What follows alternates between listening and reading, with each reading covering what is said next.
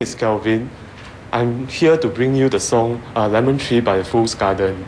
I wonder how, I wonder why. Yesterday told me about the blue, blue sky, and all that I can see is just a yellow lemon tree.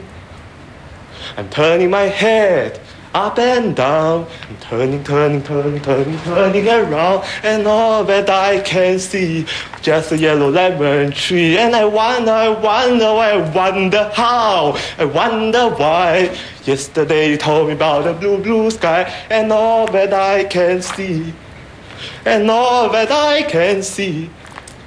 And all that I can see, just a yellow lemon tree. That was really incredible. I was thinking I was going to be the Singaporean version of William Hung. Oh, really? Is that what you were really thinking? You, you're better. I when I did this to, in front of my friends, my friends were laughing at me. Did you have a choreographer working with you on that?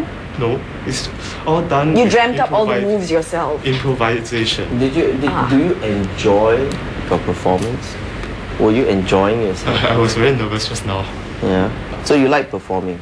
I used to have some performing experience at playing in an orchestra. Were you the conductor? Not. I'm not good enough to be a conductor. I'm just a musician looking at the conductor and playing with his movements. You could actually raise the date with that. I admire your, your, your courage and uh, um, I don't know what your intentions were. If you said that you want to be Singapore's version of William Hung, you definitely achieved that.